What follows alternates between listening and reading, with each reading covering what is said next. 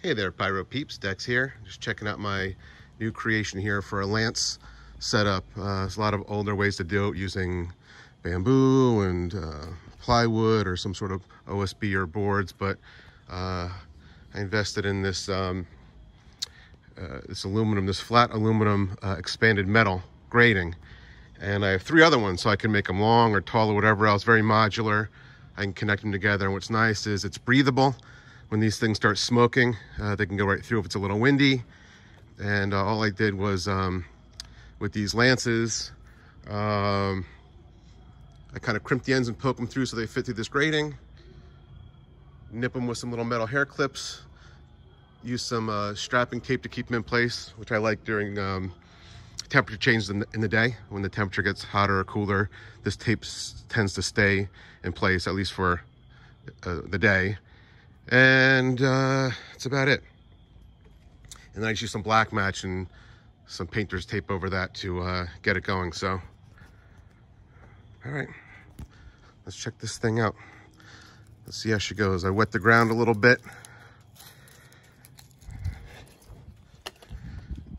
And I have a little sprayer here, and I also I always always have my fire extinguisher just in case something goes haywire. But right, oops, let's check out, see if everything goes.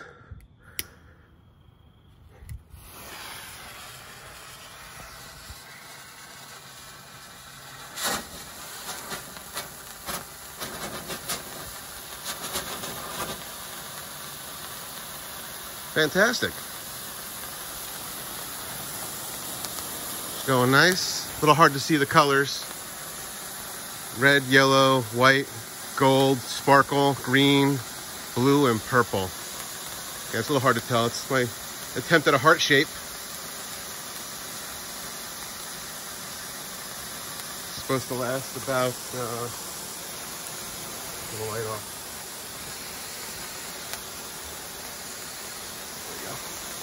Supposed to last, I think, 60 seconds.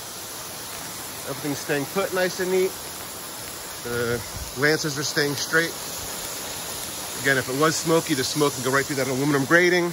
The aluminum grating's not gonna rust. And they're starting to burn out now. Sweet. Totally easy setup.